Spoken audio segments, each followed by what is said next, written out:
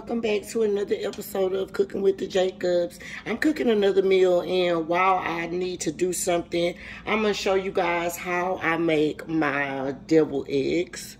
Um, and also how to boil up the perfect um, egg without cracking it, I guess. I guess maybe that'll be like two videos in one because I'm boiling the eggs right now. The purpose of this is, first of all, I'm just going to put, get your pot, get your pot, um, do it about halfway full of water.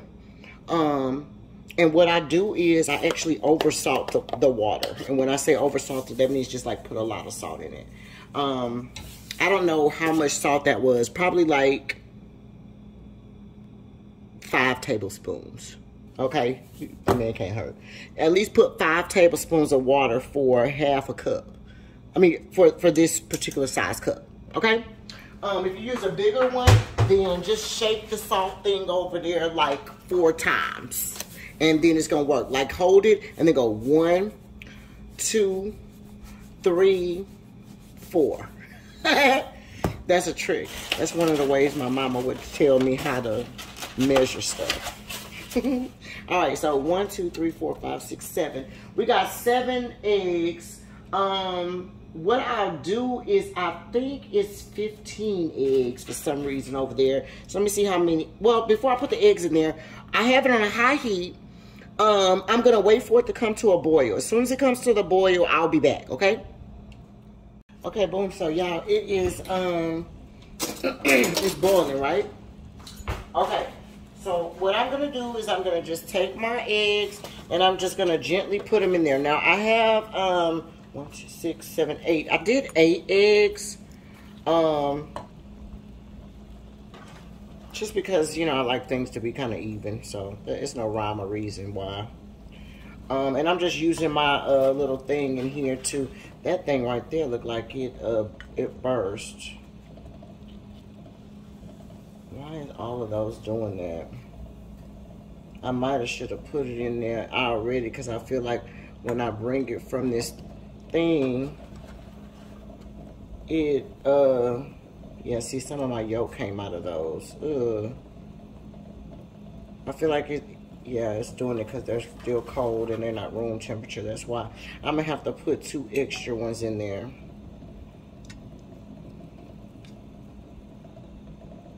Yeah, as soon as I put it in that thing, it, it, it, it, it bursts it.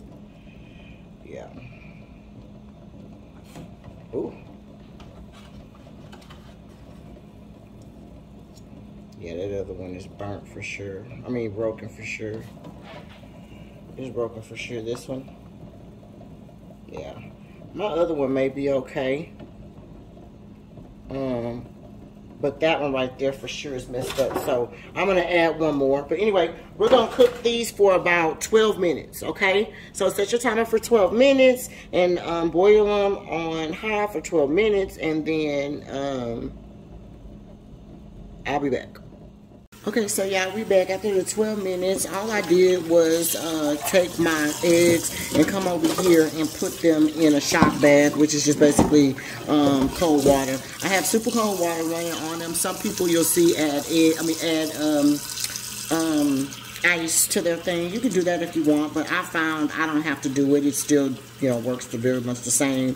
Um, you just want to keep it going on here, keep it running for a while um, until every the whole thing uh, is cold. Okay, that's what I do. I just keep letting it run until it's the whole pot feels cold. It still feels a little warm to the touch right here, but I just let it keep you know doing its thing until um, it does that. Now, if you got a problem with letting your water run, then yeah, put it in an ice bath, and that'll probably work.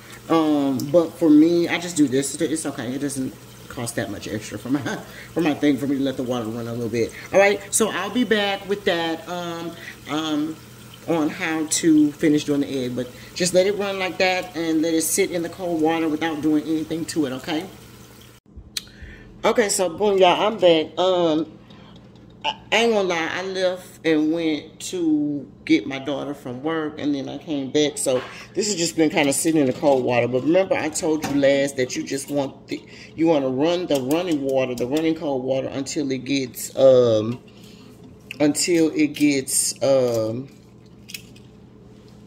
cold and then you can cut it off and just let it sit in that cold water okay? This was the one that i burst when i put it inside of there so. But even with this one if it didn't crack in half it would still would have been easy to just take it off okay? Just take the uh the eggshell off.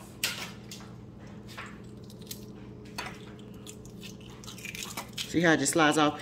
Um the trick they told me was the salt okay um, I'm not sure if it has to do with the salt more so or if it's completely getting uh, cool and that helps with it. But either way, I make sure that I do it. So you see how that comes off and it's a perfect egg every time. Okay, so hopefully that helps anybody that needs to um, you know, know how to boil an egg because some people don't really know how to boil an egg. The other thing you also can do is like at the beginning when I started my egg, um, you can start the water, like when you put the water in there, you can also put the egg in there at the same time. But don't start your 12 minute timer until, uh, till it starts boiling. Okay? Um, so I hope that helps you guys. But anyway, that's cooking with the Jacobs, and that is how to make a perfectly boiled egg. I'll see you guys next time.